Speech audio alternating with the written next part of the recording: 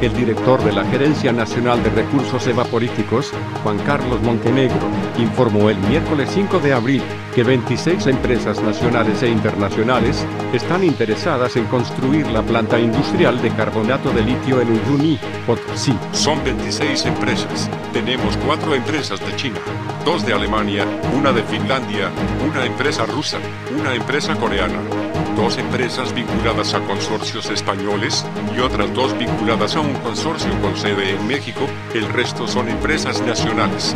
Lo que estamos buscando es la mejor empresa, que tenga la mejor experiencia y las mejores condiciones para construir y montar nuestra planta de carbonato de litio.